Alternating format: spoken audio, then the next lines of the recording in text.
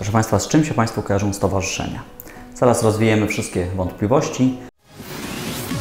Prowadzimy y, dom Matki i Dziecka Słonecznik. Mhm. Z tym, że od razu tutaj dodam, że to jest dom, który w ostatnich y, czasach nie jest tylko dla mam, ale również dla ojców, czyli generalnie pomagamy rodzicom. Pomagacie też na przykład bezdomnym w ogóle, tak? Przemoc fizyczna i psychiczna E, Finansowa, tak, też. Mhm. Seksualna tak samo. bardzo. I działacie już od, jako stowarzyszenie od ponad 20 lat na terenie tutaj Śląska Cieszyńskiego. Tak, od 22 dokładnie. Od 22 dokładnie.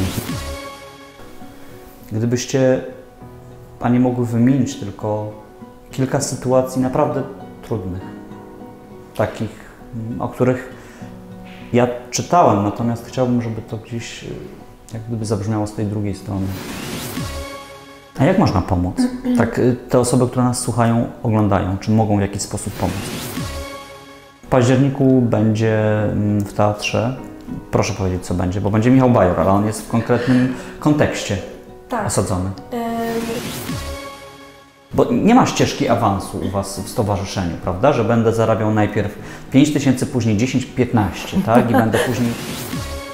Każdy, kto ma jakiś problem, kryzys albo zapytanie, trafia tutaj y, w pierwszej kolejności. To jest pomoc psychologiczna, prawna, y, tu jest świetny terapeuta uzależnień, y, tu jest super grupa socjoterapeutyczna dla młodzieży, tu są warsztaty dla dzieci, warsztaty dla rodziców.